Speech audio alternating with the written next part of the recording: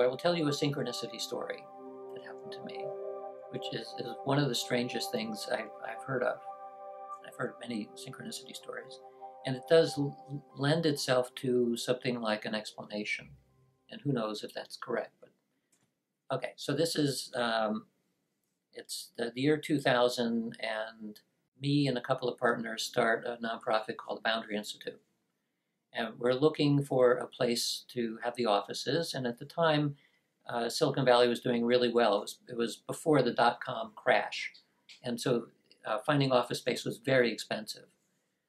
And so we look all over the place. And we finally find some place in Los Altos, which is uh, an office complex which have uh, doctors and dentists and accountants and those sort of professional things all, all clustered together in this one place. So we, we rent the place and we notice uh, at the at probably about the same day that we rented it that our next door neighbor, they, everyone has a plaque on, on the outside of their place. It said uh, PsyQuest, PsyQuest Labs, PSI Quest Labs, right next to us.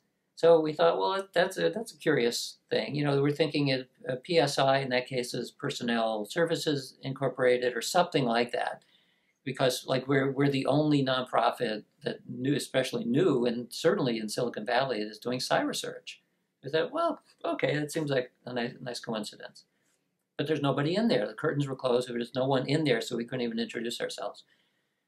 So about a month goes by, and I'm living close enough so I can walk to work. So I walk to work a certain way and decided this day I'm going to walk a different way. I wanted to see what some of the other places were that were in this complex. So I walk a different way, and now I pass an office that said uh, Inc. So I'm thinking, oh, well, these must be part of the other people. There's no one in here either, so I don't know what it is. So I'm thinking, well, it's still a coincidence. It's we don't know what they are.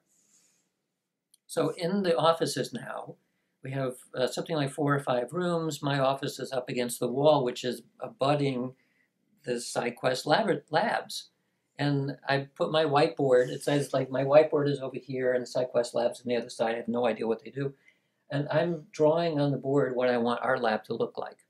So I want a, a, a certain shielded room and I want a, certain chair in it and I want certain things in it. And I'm drawing on the board and thinking about it a lot. And we don't have very much of anything else in the lab at this point because we're just new. So every day now I'm walking past PsyQuest Labs and hoping there's somebody in there because uh, I want to introduce ourselves and tell them about the joke of what we do. So finally I see somebody in there and knock on the door and the person opens the door and I say, hi, my name is, and I thought he was going to have a heart attack because he opens the door, his mouth drops open, and before I can introduce myself, he said, Dean Radin? And um, now, of course, I'm confused because how could he know who I am? Because we have never met before. I don't recognize this guy. So the reason he looks so shocked is because he was actually back in, in the room somewhere back there, engaged in a, a, a yoga practice in which you manifest things. So he had been spending the last two months manifesting me he wanted to get in contact with me. Why? Because PsyQuest Labs was his laboratory portion of actual Psi research, just like we were doing. And the other place was his office. It was his office, and this is his laboratory. And he is he is his own for-profit Psi research lab, of which there probably no other one like it anywhere in the world.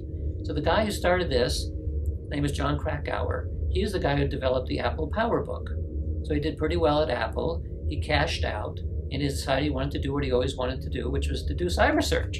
But in order to, de- to both get money and to develop his, his business, he wanted to attract certain people to be on his board of directors, including me. He had no idea that I was in Silicon Valley. He had certainly no idea that we just put a place next to his, his lab. So after he got over the shock and after I got over the shock, because when he told me this, I felt very disoriented. Like, what do you mean you were dreaming me into existence? I, I thought I had free will and just came over to the door. So he said, well, you want to see the lab? Yeah, I want to see the lab. So we, we, we go inside and we go around the corner, and this is the box that I was drawing on my wall. And this box, this this laboratory, which there's a shielded room with a certain kind of chair in it, like a captain's chair, a bunch of stuff in there. This is on the other side of the wall where I was drawing what. So I was kind of manifesting or clairvoyance what I wanted, which was there. It was like right next door. And this this freaked us out majorly. And then so I told the other people and the, the other members of, of our group, and they all freaked out.